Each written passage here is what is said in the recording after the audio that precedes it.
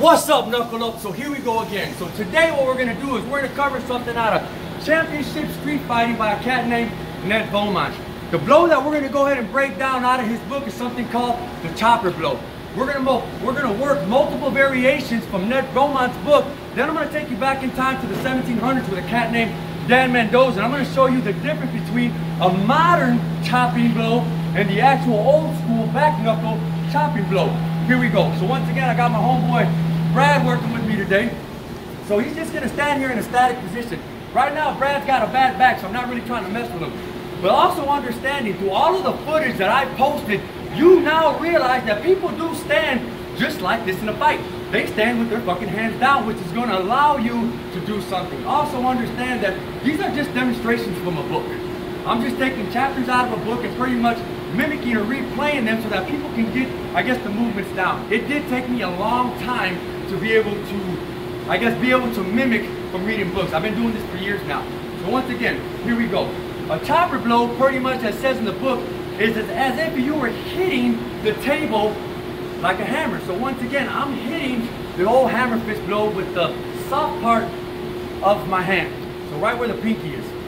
So the way he says it, you want to use your body weight and you want to use the swinging motion of the elbow.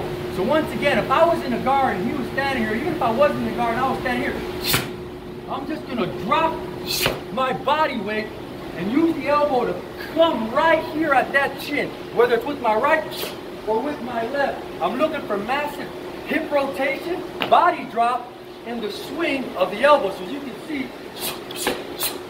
that's one way.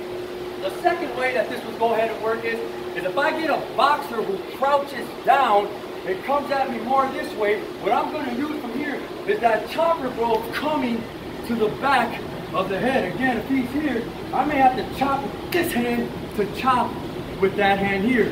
Again, taking this from the book. The third version that he goes over is using a shovel hook. So again, if he throws a blow here, and I can duck, and instead of coming here, with that shovel hook, I'm to flip it over here. So now once again, I'm still hitting with that with that hammer fist, which allows me still to come up down his center line.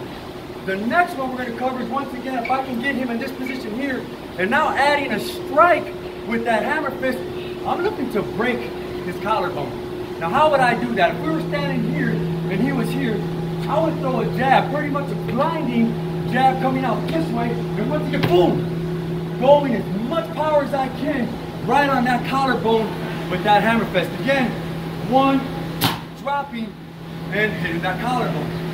Now basically, those are the ways that you would use a hammer fist blow or a chopper blow working out of Ned Beaumont's book. Now we go back to the old school stuff, so Dan Mendoza. So the only reason he was able to use this blow was his guard. His guard being up. As he says in the book, in order for the chopper blow to work, you have to extend the elbow past the head and throw down the back knuckle here in a semicircle, understanding that if I hit his nose, I'm going to get him to tear up. If I can cut his eye, I'm going to get blood into his eye, which is going to momentarily blind him because of the blink. So again, from this position, the best way to work this is, is through a round blow, as they used to say, or a hook, as we say now. So pretty much the whole uh, cover crash counter is exactly how I would use this. So if I was in my guard here and he threw a round throw, one, elbow over the head, boom, right on the nose, which now allows for a punch right to the throat.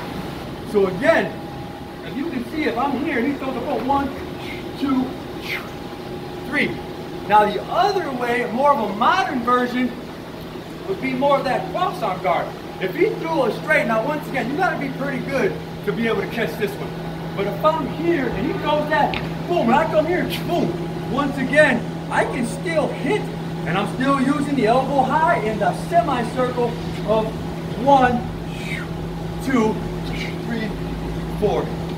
So again, you can see how you can go ahead and take the old school chopper blow and kind of uh, put it in with your, I guess your curriculum that you're running now. As you can see, we were able to use it at the face, at the body, the back of the neck, the collarbone, and then when we took it back to the old school, up down, throat, cross guard, one, two, three, four. Again, let me know what you think.